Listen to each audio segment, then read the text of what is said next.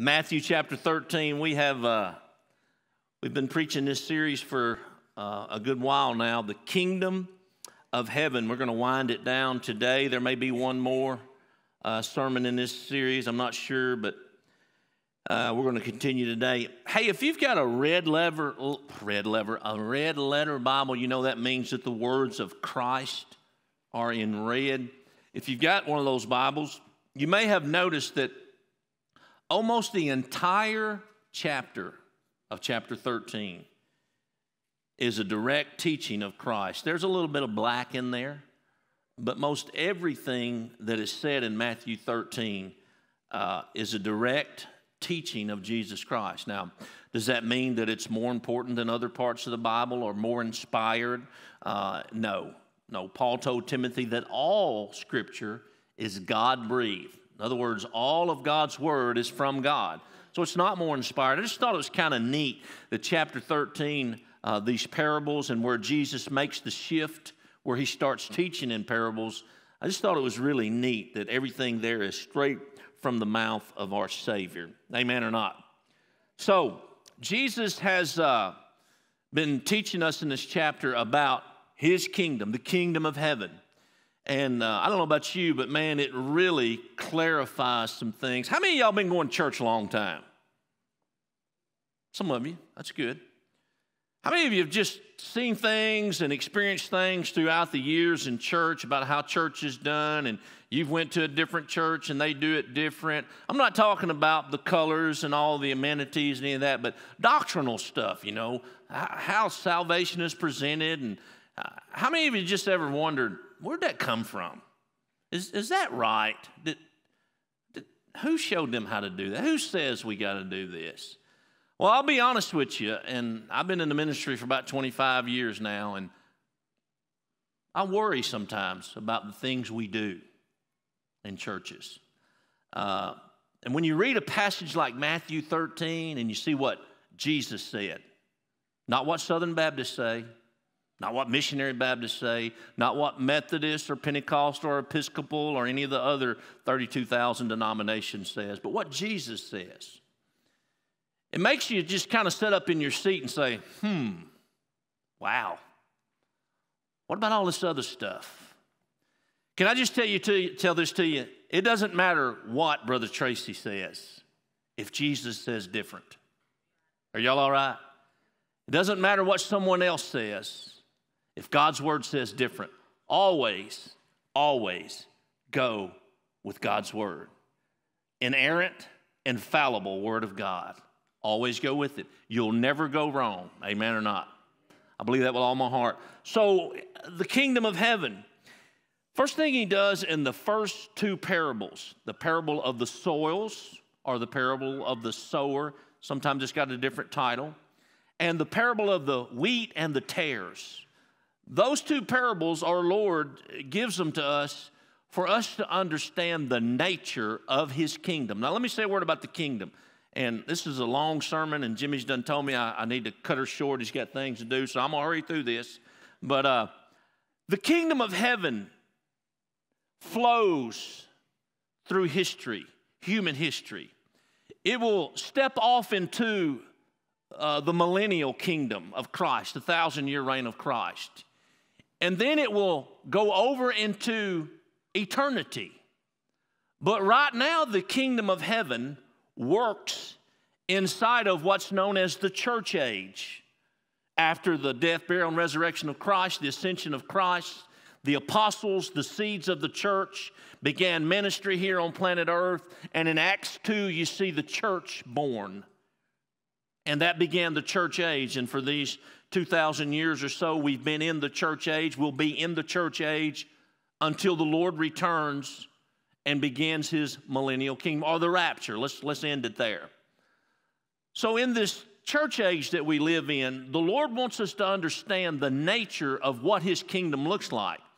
Uh, in the parable of the sower or the parable of the soils, we see responses, various responses that is given to the message of the kingdom. And the message of the kingdom is all have sinned and come short of the glory of God, and Jesus is the Savior who graciously forgives and saves. That's the message of the kingdom. There's lots of responses to that. We see them in the parables. Some of them are quick and sudden change that don't last. Some of them responds with affirmative yes to Jesus, and then there's a length of time where they seemingly are operating inside of his kingdom and along and lining up with his word. And then, uh, as Peter says, the dog return, returns to the vomit. Uh, it just doesn't last. And then there are those uh, that make a genuine citizen of the kingdom. And there's a new heart given. There's a new life given. Literally, there's a, there's a new man born from the power of God. And the kingdom of heaven becomes his priority. Uh, it's the pinnacle in his life, it's priority.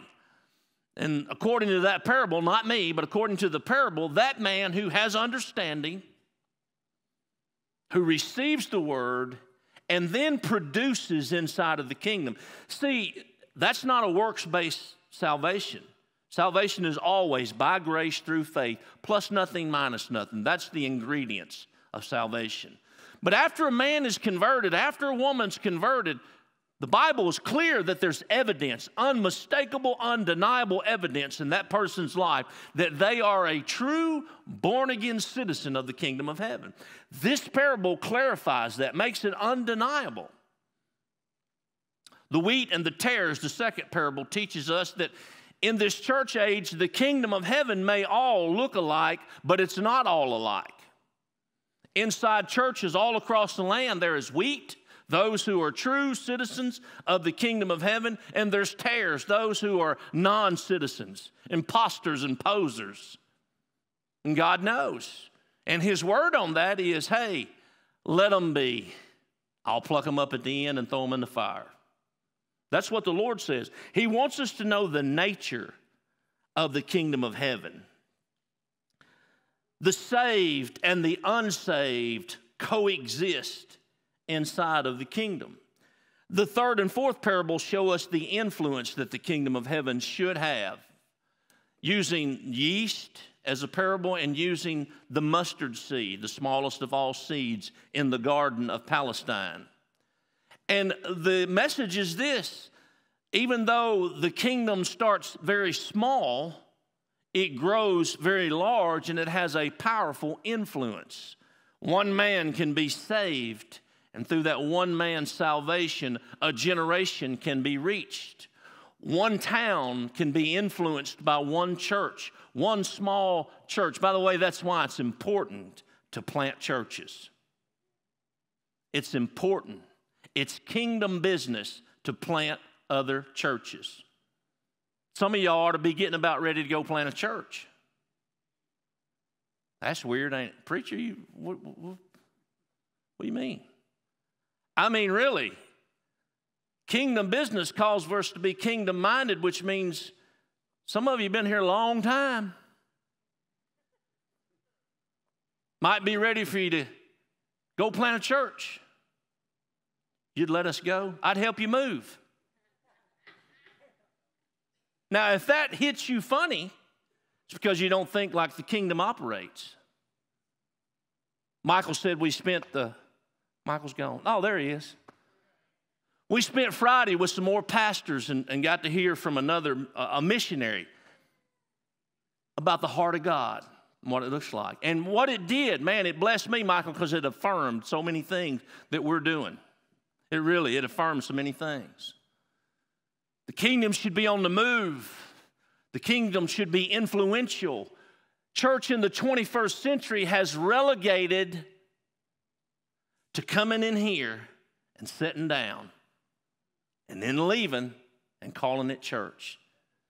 You don't see it anywhere in Scripture. That's man's church. That's what man has decided to do with God's kingdom show up at church, sing a few songs, call it good. That's why our culture, by the way, is crumbling all around us. The influence of the kingdom has dwindled to nothing. They used to build churches and build towns around them. the influence. The Lord wants us to know of that. The mustard seed grows into a tree. The yeast permeates the whole loaf of dough. That's the way the kingdom of heaven is to operate. Here uh, in the, oh, then we see, I'm sorry, I'm going to skip this. Then we see how to acquire the kingdom. And this is really where it, I think we've gotten off track. Man, we've, we've just preached this easy believism. And by the way, it's not hard to come to Christ. It's not hard to be saved. Jesus has done everything that needs to be done in order for a lost man to be saved. I believe that always will be. But there's something dynamic that takes place. In the fifth and sixth parable, the parable of the hidden treasure and the parable uh, of the pearl of great cost, we see what it takes to acquire the kingdom of heaven, what it takes to be a true citizen of the kingdom of heaven, what it takes to truly be saved, and that is a sellout. According to this parable in the Lord's own word, if you're going to come to Jesus and be a part of his kingdom, you got to be a sellout, a sellout to him. There's a willingness there to trade your life for his life. There's a willingness there to not only allow him to work through you, but a desire for him to work through you, and you're willing to count the cost and give up what it takes. I told the first service we go through every morning here at Cowboy Church a study called Experiencing God, Henry Blackaby. Challenging. Man, just when you think you're doing good, just when you think you're batting 300, just when you think you're knocking the ball over the fence every time for Jesus, you, you read uh, Experiencing God and you realize, man, you're pitiful. You're terrible. You ain't doing nothing.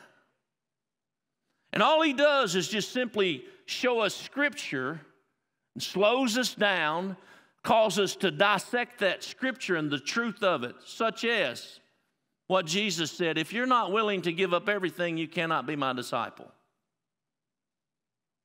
Let that sink in. How many wants to follow Jesus this morning? Show of hands.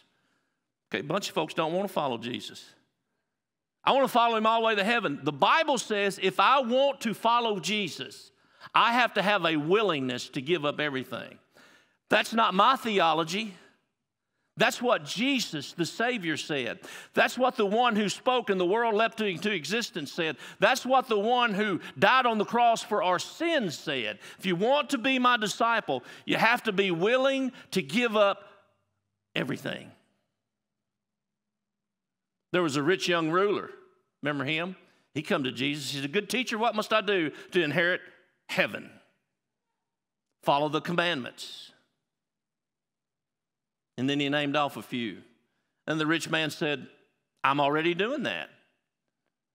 He said, Go sell all of your possessions, give them to the poor, then come and follow me. The Bible says he went away sad. Most people do. Narrow is the way. The broad road leads somewhere else. We're going to talk about that in a little while. Narrow's the way. These parables, and the reason Jesus started teaching in these parables was to get to the heart of the matter, get the truth on the bottom shelf so everyone would have access to it, and then it becomes judgment to us. How do I acquire the kingdom of heaven? I trade my life for His. That's how simple it is. I trade my life for His. And then today, probably the last installment, we'll see. Jesus offers the final parable in chapter 13 the parable of the dragnet.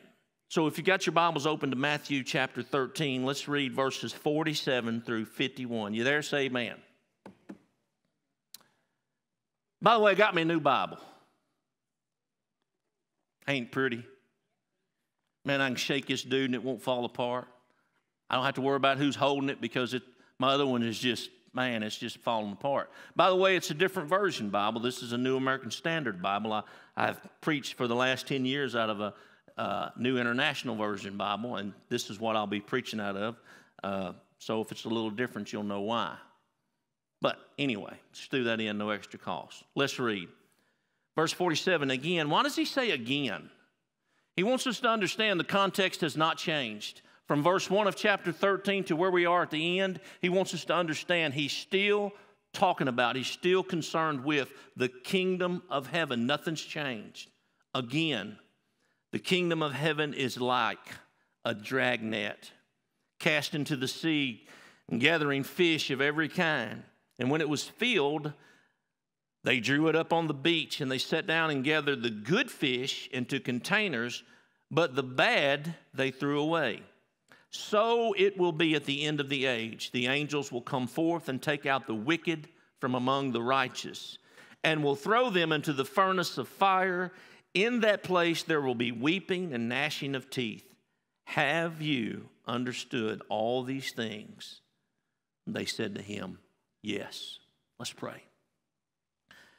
Father, it's a privilege again to come, Lord, in this second service before you, preaching your word. And we ask, Lord, that uh, you would do what you did in the first service. Holy Spirit, teach us, guide us, open our hearts, remove the distractions. Help us, Lord, to for just a little while to forget about what we're going to do after this is over, where we're going to go eat, and what we're going to do the rest of the day, Lord. Help us to be students of your word. Educate us this morning with knowledge from above. Speak to us deep into our souls. Save us if we're lost. Help us, Father, if we're weary. Don't let us be led astray. Let us follow your truth, Lord Jesus. We can't get this done without you. So, Lord, we ask that you teach us for your kingdom's sake and your name's sake. In Jesus' name, amen. Well, the first thing the Lord does in this parable is he paints us a picture that he wants us to see. And he begins in verse 47, uh, painting the picture of a fishing scene, which would have been very familiar to his audience. And he says, uh, the kingdom of heaven is like a, a dragnet. This is the first thing he wants us to see a dragnet. And our Lord gives us this picture because his kingdom is like a dragnet. Now, in this culture, and really still in ours too, if you know anything about fishing, there's a couple of nets that were used in that day. One was a throw net, it was a one man net that could be thrown, and when it would throw, it would open up it would land on the water. It was weighted around the seams, the bottom, and it would sink very rapidly. And anything that was under it, when the string was pulled by the fishermen to reel it back in, the weights would close the net up, and anything that was under it would be caught in the net. That was a one man net, and that's not what he's talking about. Then there was a drag net, which was very, very large. took several men, uh, many, multiple men to operate this net. And a drag net would be either attached to both banks and move toward the shore if they were in a cove or something like that. But normally it would be attached to one bank of the sea and then it would go way out into the sea and men in boats or if they could stand up if they were in shallow enough water they would be on their feet the bottom of that net would be weighted where it would drag along the bottom. And they would, in a circular motion, come back to the bank. And everything that was in front of that net would be schooled into the bank. And anything that was on bottom would, would be caught up in this net. And they would eventually reach the, the shoreline on the other side. And everything was caught in that net. Nothing that was in that area, nothing that was on the bottom escaped that net. And they would drag it up on the shore, and then they would begin the process of separation. This is a picture of how God's judgment works in the end. He painted this picture here in uh, verse 48. He says, When it was filled, they drew it up on the beach and they sat down and they gathered the good fish into containers, and the bad fish they threw away. Notice they didn't throw the bad fish back in the water which is probably what me and you would do. If you're a fisherman and you catch a rough fish, you probably don't paddle over to the bank and throw it up on it. Probably just put it back in the water, right? Well, this is a picture of judgment.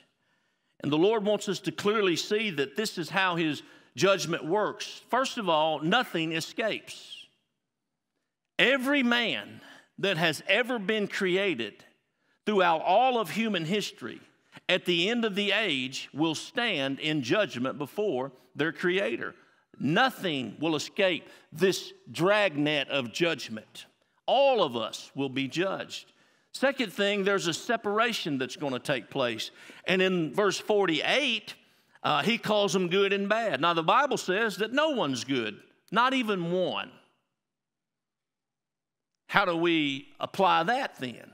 The only way we could ever be seen as good or worthy or valuable is the righteousness of Christ has to be applied to us. Salvation has to take place. We have to pass from death to life. Our sins have to pass under the blood of Christ, be forgiven. That is where the goodness comes in. And those who are considered bad are those who have rejected, flat out rejected the goodness of God, the grace of Christ, are those who have dilly dallied with it. Those who are not true citizens of the kingdom of heaven, those who have said a prayer once upon a time, they've been through the waters of baptism, but there's no evidence in their life that they work in the kingdom of heaven. There's no passion about Christ. There's no passion about the things of God, or there's no calling on their life. There's no, there, there's no, they're not driven for the kingdom of heaven. The evidence just isn't there. The Bible says they're separated. The next thing he shows us is in verse 49. Now, that first thing that he showed us in verse 47 and 48 was a picture of judgment. The next thing he shows us is in verse 48. It's the principles of judgment. Verse 49, I'm sorry. There's a principle. In this verse, the Lord shows us his principle of judgment. Now, by the way, this is not a detailed description of how judgment will take place. This parable, the Lord's the Lord's subject is those that are lost. All will be judged, those who belong to him and those who do not belong to him. But in this parable, the point that he's making is those that are lost, those who have rejected him, stand in judgment. So here we see uh, from the separation, we go into the principle, uh, and the Lord refers really to the great white throne judgment in this um, verse here. Revelation chapter 20, verse 11. Uh, we're not going to go there, but that is the last judgment. That is the judgment to close out the age of humanity. After the great white throne judgment, eternity starts. There's no more judgment after that. And that's a reference to what the Lord is talking about here. He points to it. We've already seen that in the previous parables during this church age, the kingdom of heaven, we, under, we have to understand the nature of it. Um, there's unbelievers and believers that coexist inside the church. Now, they would all say they're believers, but the Lord would say otherwise. But there comes this separation at the end of the age that no one will escape, that no one will dismiss themselves from. There's no one who uh, be able to say, hey, I got things to do, I can't make that. That's not the way it's going to work. This picture shows us this dragnet, which represents the judgment of God. And I want you to, I want you to, I want you to see the picture that the Lord has, has painted for you this morning. And I want you to see that dragnet that, that, that is moving slowly through the waters as God's hand of judgment that is moving slowly through humanity, through our lives. And inside that giant net, we have freedoms. Man, we get to make decisions. We get up every day. We decide where we're going to go and what we're going to do and what we're going to wear, what we're going to eat, where we're going to work, on and on and on. There's freedoms within that judgment net that, that, that moves through our lives. But every day, every day, that net is getting closer and closer to the shoreline, which is eternity. All of us are being moved, whether we like it or not. You can't escape it. No one can add not one day to their life. We all are being moved closer to the shoreline where a separation will take place.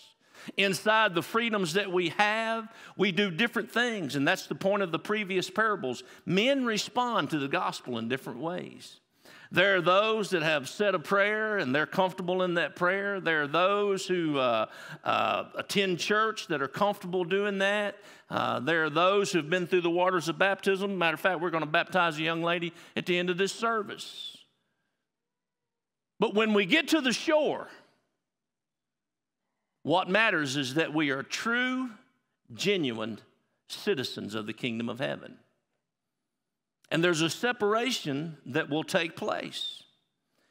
And in this parable, we see in verse 49 at the end of this age, the angels will come forth and take out the wicked from among the righteous. Now, the Lord doesn't get into the rapture of the church, He doesn't get into the millennial reign. He is fast forwarding to the end of the age, the great white throne judgment, where only the unrighteous will stand. There is no Christians at the great white throne judgment. We've already been judged. But here, only the wicked of the ages, if you go to that passage and look it up, they're, they're from humanity's very beginnings all the way to that point, stand before the king. Verse 49 says they will be taken out among. Verse 50, which shows us the peril of the judgment. How serious is this judgment? It's the most serious thing that has ever happened. It's the most serious conversation that you and I can have.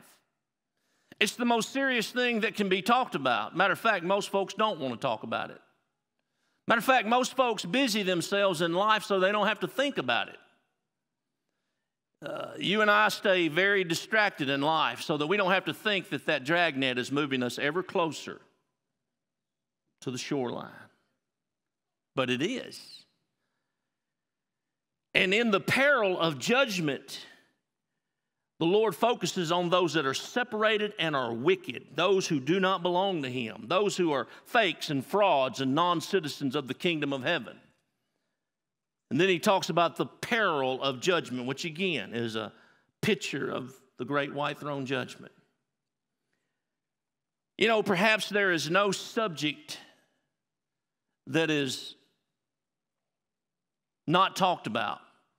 There, there is no subject that makes us more uneasy, avoided, if you will, than the subject of hell.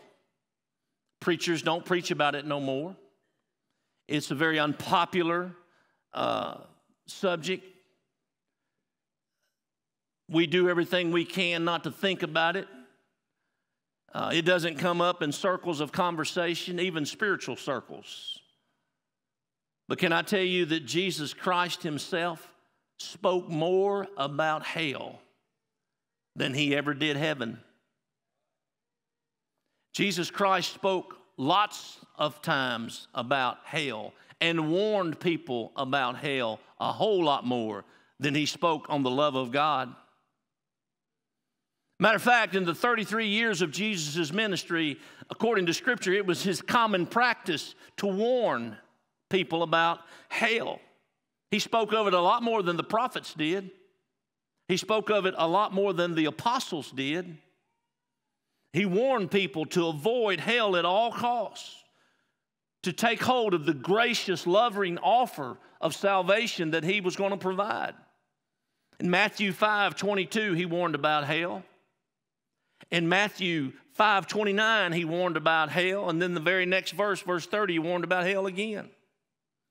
Matthew 18 8 and 9, he warned about the perils of hell the eternity that will be spent in hell. In Matthew 9 43, he warned about hell. In Matthew 18 12, Jesus warned those that were imposing impostors in the kingdom. They called themselves sons of the kingdom, but he said, You shall be cast into outer darkness. In that place there shall be weeping and gnashing of teeth. That's hell. Listen to me, friend. I ain't trying to scare you.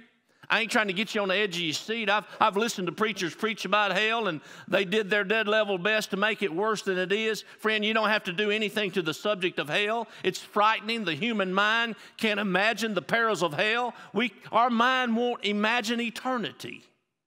let alone spend an eternity in hell. But Jesus Christ said it's a literal place. It's not for us. It wasn't prepared for us. Scripture's clear on that. Jesus himself said that it was prepared for Satan and the fallen angels. But those who refuse to take hold of his grace and his forgiveness will find themselves at the end of the age in a literal hell. Matthew 23 33, Jesus asked the hypocritical scribes and Pharisees this question How shall you escape the sentence of hell? All throughout Jesus' earthly ministry, from beginning to end, he warns of the torment of hell because those who would reject him will spend eternity there without him. It's very popular in the 21st century to make light of hell. Lots of jokes about hell. Can I just tell you, nothing that's ever been written about hell that's funny. It's nothing ever been written about hell to soften it, uh, to make anything good about it, uh, to make it a pleasant place. Nothing has ever been written about hell to make it some place that you'd even want to visit. Here in this century that we live in, hell has been relegated to a joke. Uh, Hollywood has uh, made us believe that uh, Satan lives in hell. He's got a throne down there, and he's just uh, some mythological creature that sits there and all of his fallen angels are hanging out with him and there's flames everywhere and he kind of likes the thermostat to be turned high and he's just hanging out down there waiting on some people to get there. Can i tell you the truth of god's word says this? Satan ain't in hell right now. Matter of fact there ain't nobody in hell right now hell begins after the great white throne judgment there's millions upon millions upon millions of people in Hades, which is the abode of the dead, those who have rejected Christ, reside today in a place of punishment. But it's not the final place of punishment, it's not the lake of fire. They will be brought out of that place and stand at the great white throne judgment, and they will be judged according to what they have done or have not done with the grace of God. The devil's the devil and his fallen angels, they're not going to enjoy hell. It was prepared to punish them. So when eternity begins and the lake of fire fills up, Satan will be there, yes. But he's not the king there. He's not running the place. He's suffering just like everyone else that's there. And he will continue to suffer for all eternity. There will be no end. It's not a fun place, it's not a funny place, but we've made a mockery out of it. When the Lord warns about it, the Lord pleads with people don't go there, turn to me. Someone invented a long time ago RIP, rest in peace. For those good old boys that die off, and we preach them into heaven at their funeral. That ain't true, and that ain't real. When a man leaves this life, there's two places he can go absent from the body, present with the Lord. Those who belong to Christ at the moment their last brain wave happens, their last uh, air comes into their lung, they leave this planet and they go to be with their Savior, Jesus Christ. On the other side of the coin, those who draw their last breath here, they don't go rest in peace those who don't know Jesus Christ and those who have rejected Him. They don't drift off into nothingness. They're sent to Hades awaiting judgment. Well, I'm, I'm just an old cowboy preacher and I'm just going to ride off in the sunset. They'll write a song about me and I'll just kind of disappear uh, over the horizon and I'll rest in peace. That's a myth. That's a myth, friend. You won't. If you leave this world without Jesus, if you're not a true citizen of the kingdom of heaven, you won't rest in peace. Matter of fact, you won't rest. You'll live your eternity in torment. Boy, preacher, that's uh, it's not what I come here to hear. Boy, I get that. Nobody wants to talk about it. I don't want to talk about it. I don't want to preach about it. But it's there. Jesus spent most of his ministry warning people don't go there. I love you too much not to talk about reality. When Jesus says there's a literal hell, when we read the great words of John the Revelator and describes it as a lake of fire, it's there. It awaits those outside of salvation, those who have rejected Jesus Christ, those who are playing church. It's real. It's not for you, but it's what you'll receive. Somebody better start preaching about it again. Hey, we're running out of time here. Hey, parents, you better tell your children about it. Life ain't all full of roses and, and good times. At the end of this deal, when the dragnet reaches the shore, those who have rejected Jesus Christ will be sorted. And they'll stand before the one who died for their sins. Now, I want to paint a picture for you. The Bible says, John the Revelator in Revelations 20, starting at verse 11, that appeared a great white throne. He says, Heaven and earth fled from its presence, because on that throne is the one who spoke, and the world leapt into existence. He's the one who knit you together and knit me together in our mother's womb. From the moment we were knit together, a soul was given to that body that will never, ever die. Somewhere it will live on in eternity, either with God or apart from God in a place called hell. The Bible says when those who stand at that great white throne judgment stand before the Creator, they're going to look into the face of, listen to me, the one who died so they wouldn't be there. Get that. Don't miss that. They have to look into the face of what was and could have been their Savior, which is now their judge. And because they have rejected Him, made a mockery of him. Now they stand before him as judge. And friend, let me tell you, all the emphasis is on the one who's being judged. I want you to think about the judge for a minute. Think about the one who left the splendors of heaven who come to this rotten old world to die for somebody like me so that I'd never have to stand in front of his great white throne, so that I could stand at the beam of judgment after Christ has called me home and I could receive my crowns for what I've done here in his name and I could cast them at the feet of the king. But those who stand at that great white throne, they have to look. They have to look at those hands. Those holes are still there and they'll realize all of my eternity is set.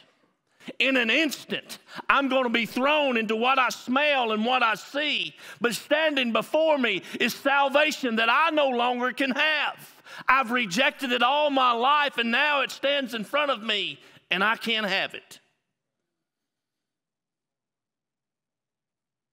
And it breaks the heart of Jesus because all he did so we wouldn't have to be there breaks his heart. Jesus is telling us this is what the kingdom of heaven has to do in order to get into eternity. There's the tares and the wheats, they're growing up together in the church. He has to separate them before eternity can begin.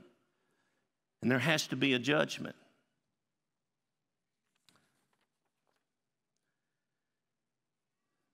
Hell is literal, hell is forever. In Mark's Gospel, chapter 9, verse 42, again, the words of Jesus straight out of his mouth. Verse 42 says, Whoever causes one of these little ones who believe to stumble, it would be better for him if a heavy millstone hung around his neck and he had been cast into the sea. Now, it don't really matter, but I'm just going to tell you the little ones he's talking about, that's not children. He's talking about Christians. He's talking about new Christians.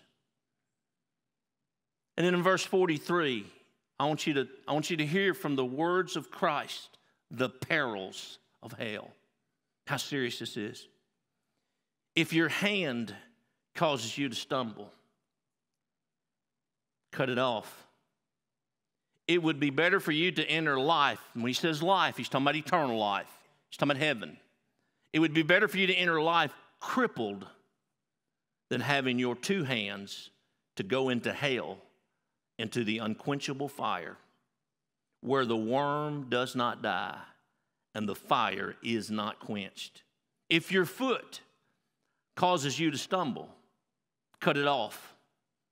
It is better for you to enter life lame than having your two feet to be cast into hell, where the worm does not die and the fire is not quenched. If your eye causes you to stumble, throw it out. It is better for you to enter the kingdom of God with one eye than having two eyes to be cast into hell, where the worm does not die and the fire is not quenched. Jesus gives a metaphor.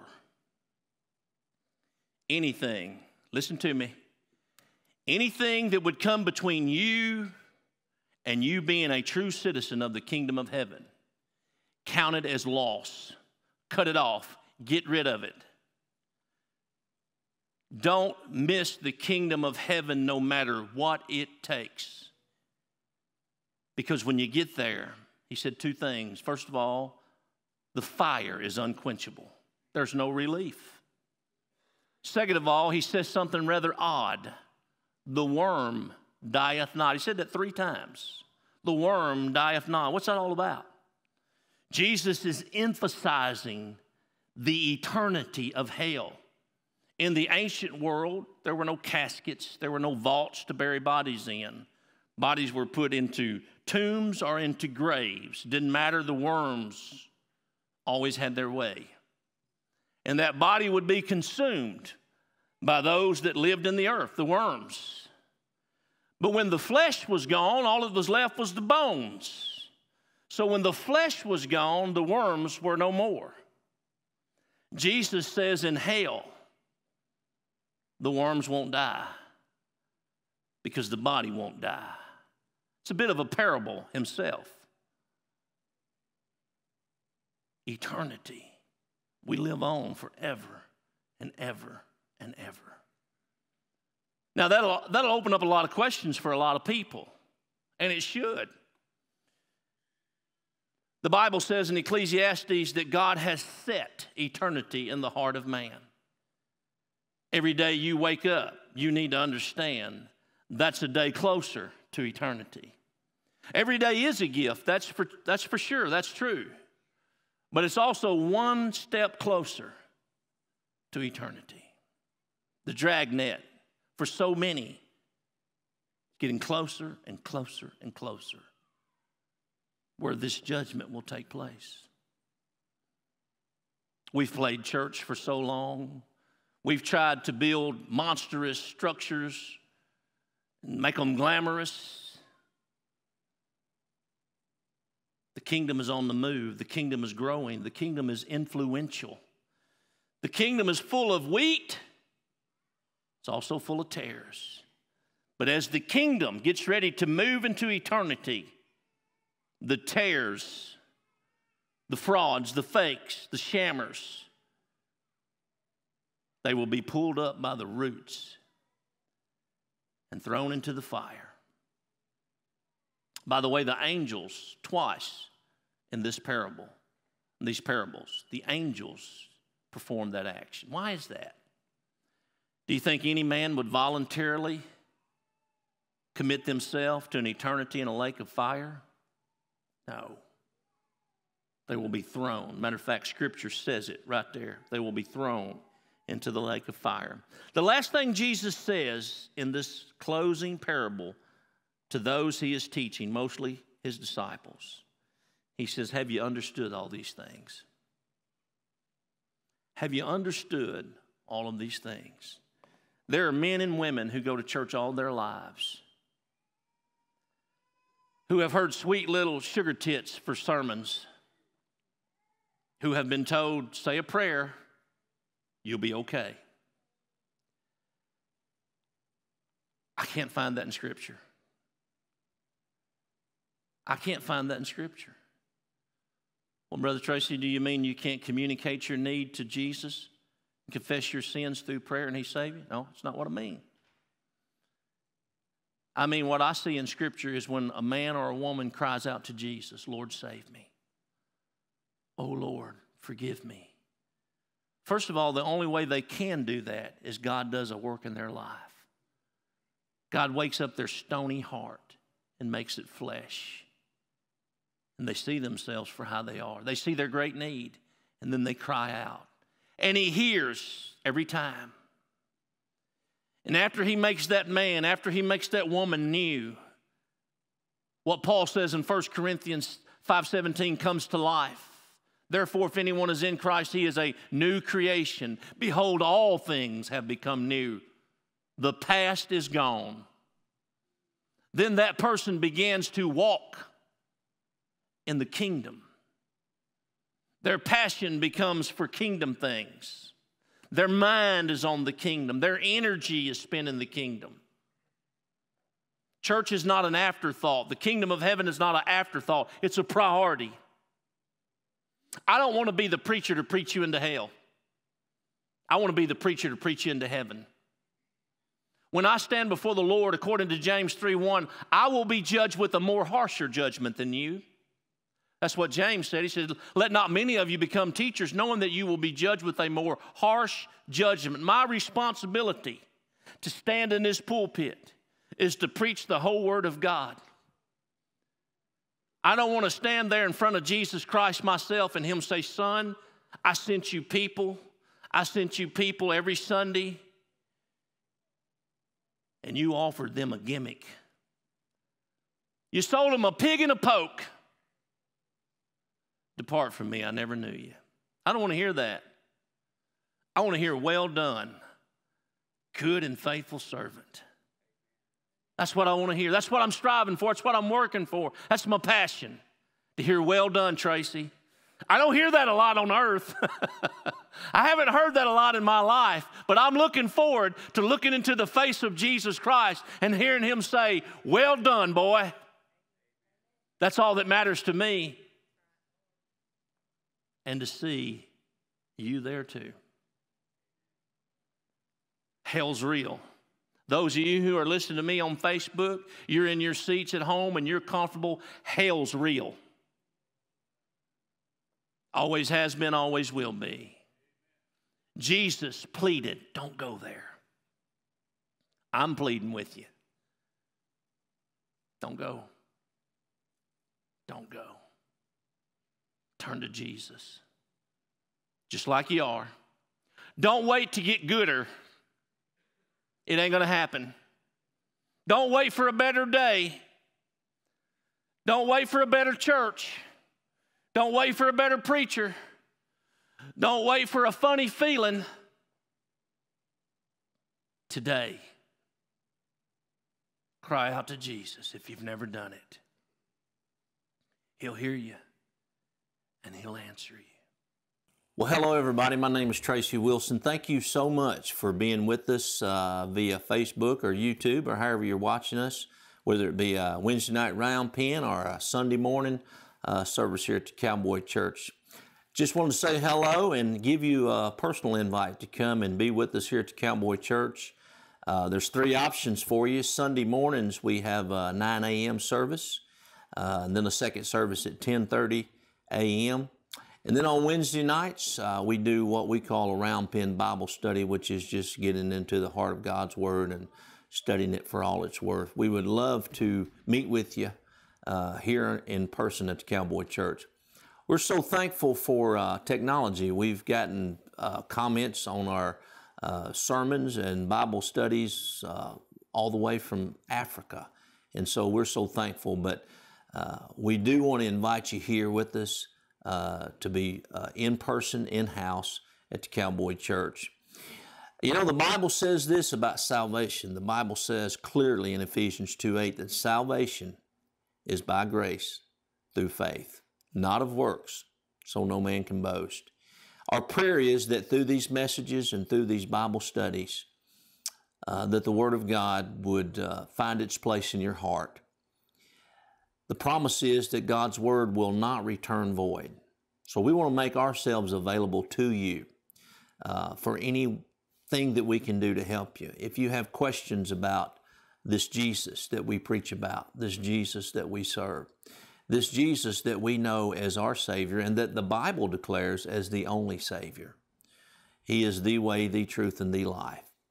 If you would have a question about that, if we could help you with that, or if God deals with your heart through one of our sermons or Bible studies, and you've responded to that, and you've put your hope and trust, and you've committed to follow Jesus Christ, we would love to celebrate with you about that. We'd love to talk with you about that, help you in any way that we can.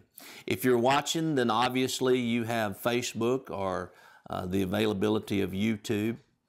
Uh, if we can do anything, I would love for you to personally message me on Facebook. And I would love to correspond with you about this. God is able, and He is able to meet all of our needs. He has extended His grace to us uh, through the offer of forgiveness of our sins and eternal life. I hope that you have taken advantage of that. I hope that you belong to Christ. And please take advantage of Three Trees Cowboy Church. Being here in person or just allowing us to message with you and help you in any way we can. Until then, until we see you in person or we see that message, God bless you and thank you for being with us.